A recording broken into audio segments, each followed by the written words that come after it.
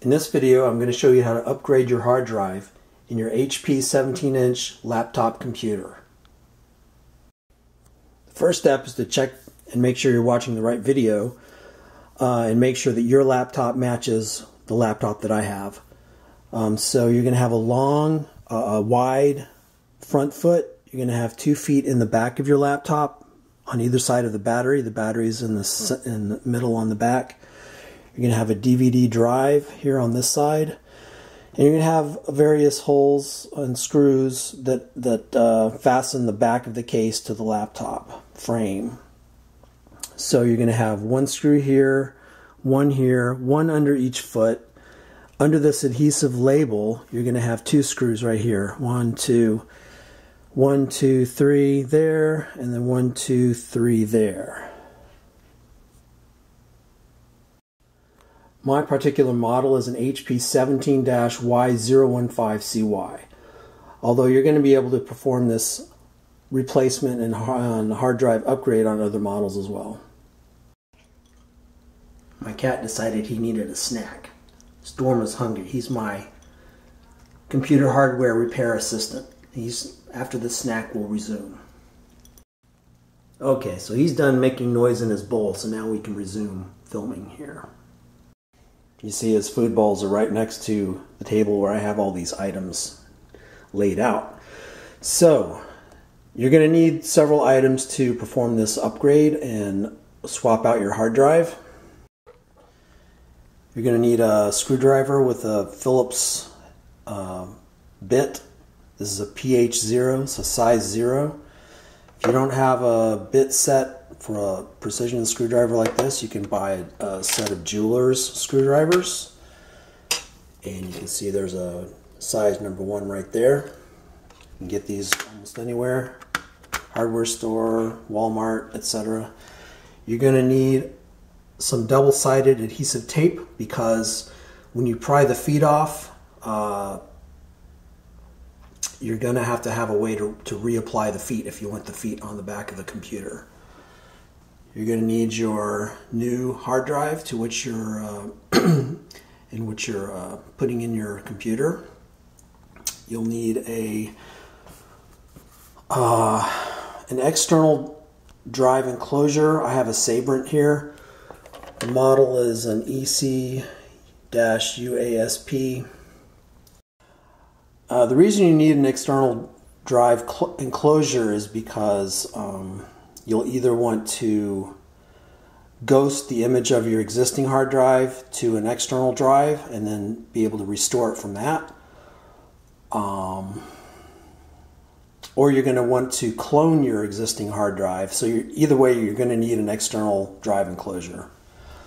Also, you're going to need a case opening tool. These are plastic pry tools. Um, you get them on eBay. Just search for uh, laptop case opening tool and you'll find them. They're about five or six bucks. Um, you can buy them from uh, sellers in the U.S. or you can go to China if you have to.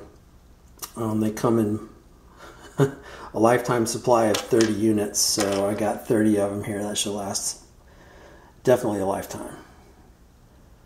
And so now let's get started.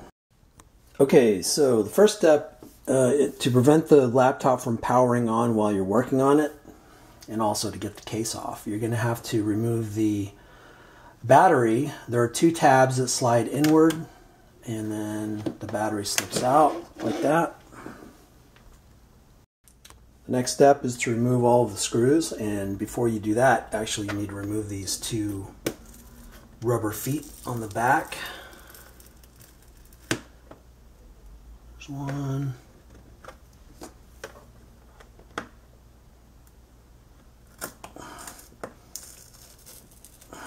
There's the second one. And that will expose one screw, or two screws, one on each side. Note that there are going to be two screws underneath this adhesive label here. I've already exposed them. And you can see the, the hole there. So I've already um, gone, felt it. You can feel the indentation with your finger. Just run your finger along the label and you'll feel the hole. Just go ahead and punch through the label and then remove the screw. and that will um, allow you to. It's the label is perforated in a circle, so you can just pull that piece of label off. So now we're going to go around and undo all the screws.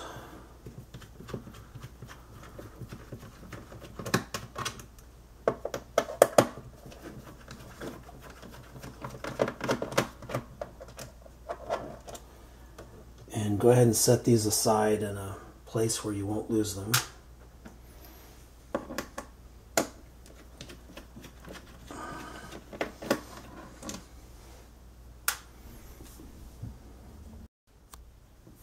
So that was the first three screws. Now for these three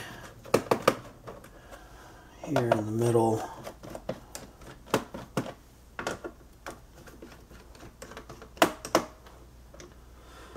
This one here will unfasten the DVD drive. And you should be able to pull the DVD drive out.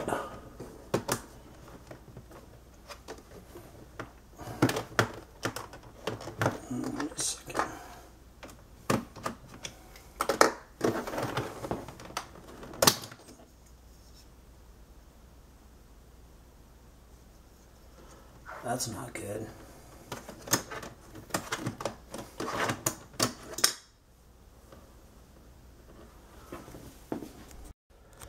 Okay, so let's count all the screws and make sure we got them all out, all the holes. So 1, 2, 3, 4, 5, 6, 7, 8, 9, 10, 11, 12, 13, 14. You should have 14 screws. Unfortunately, I've done something to the DVD drive. Uh, I may have broken it trying to get it out, so we're just going to leave it in while taking the back of the case off. So now you can flip your laptop over, open it up, and then with the case prying tool, you're going to insert between the top of the laptop case and the bottom of the case and pry. And it should just pop right pop right off. Like so. And just go around case like this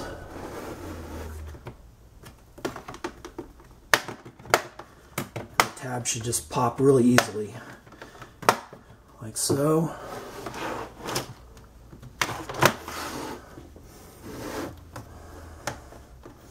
Just keep going around.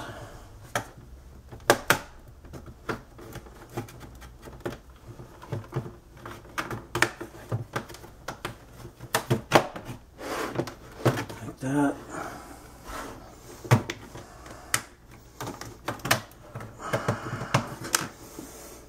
Go ahead and close it up again. Flip it over.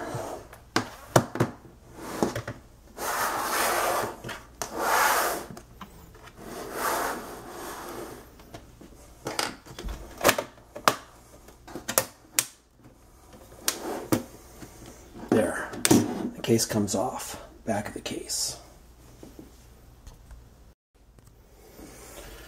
Now I can pull the DVD drive out and see what I've done to it. Hopefully I didn't break it. Let's see. This.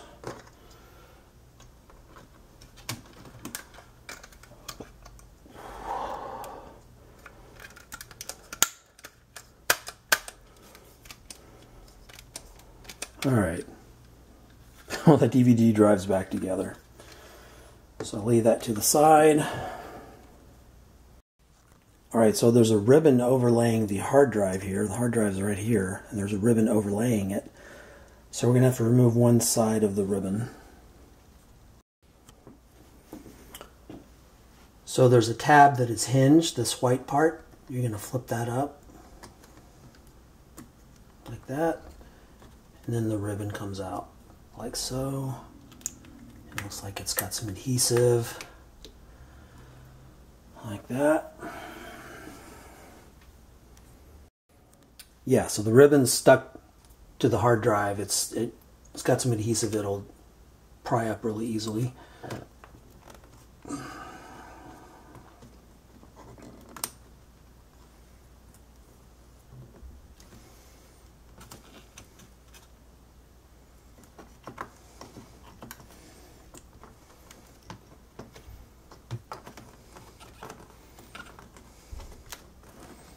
and you should be able to pull it out from its plug there like so. So hard drive's out. So the hard drive's in this rubber case and you're gonna have to recycle that case. Um, looks like that just it's comes off pretty easily.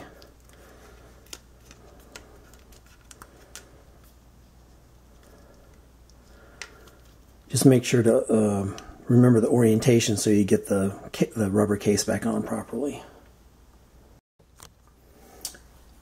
Yeah, so the upgrade, a little bit of a problem here because my new drive is a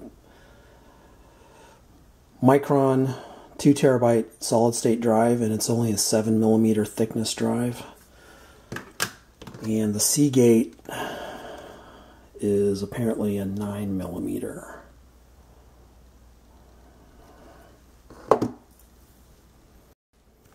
So um, I'm going to try to put the rubber uh, case on the drive anyway, on my new drive, my Micron. Um, I'm going to go ahead and orient the drives the same.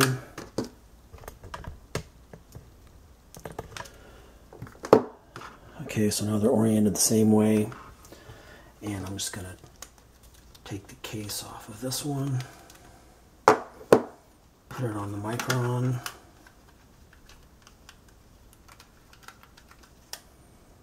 Like so.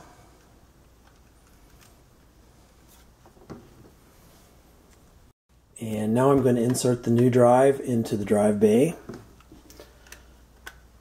Lift this ribbon here and then go ahead and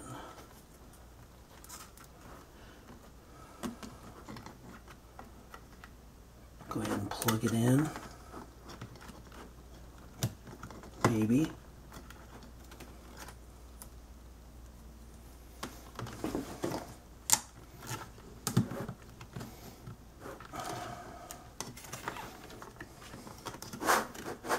There we go.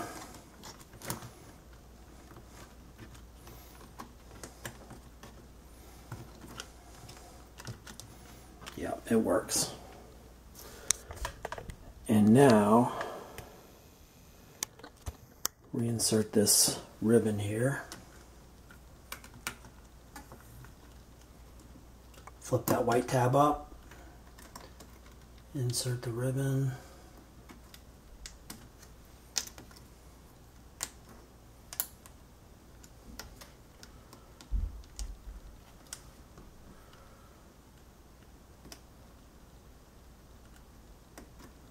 Goes.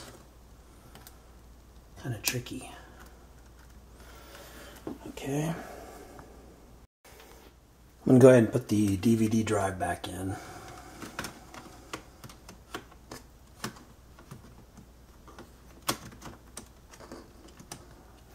And now for the back of the case.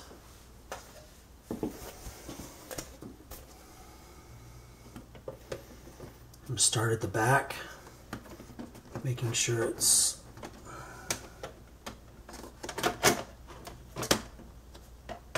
oh wow. Now I see why the okay.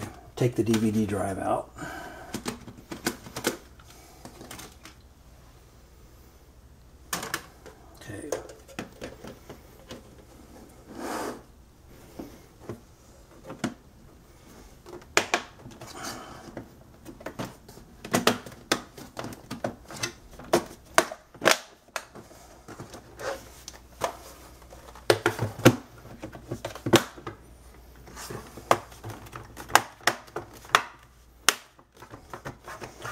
press everything together.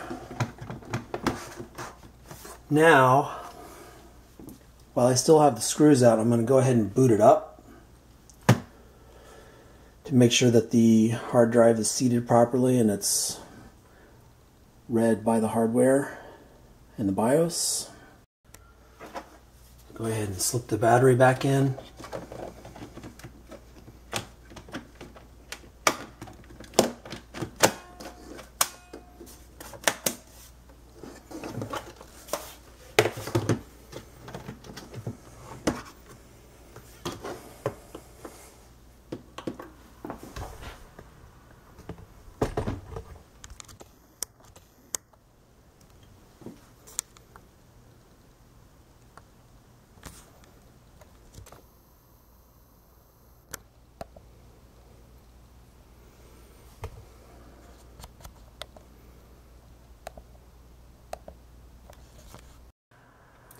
So you should get a message like this. Boot device not found. Please install an operating system on your hard disk. That's a good sign that your disk is recognized, but you don't have an operating system. So now go ahead and power it down. Just keep the power button depressed for about five seconds. Power's off. Take out the battery again.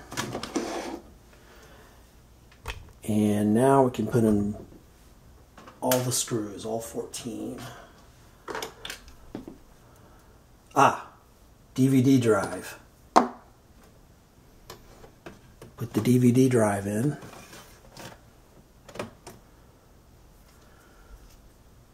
And all the screws go back in.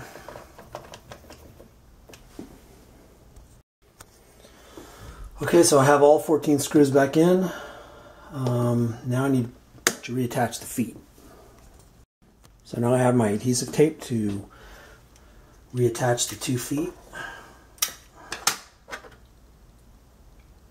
Uh, a little bit too long.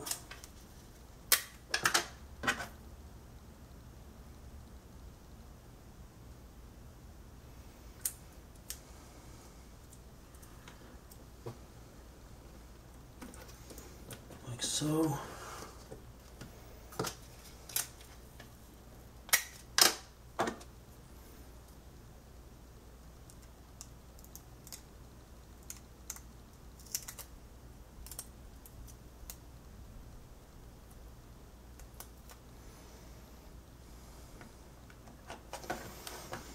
You have to redo this one.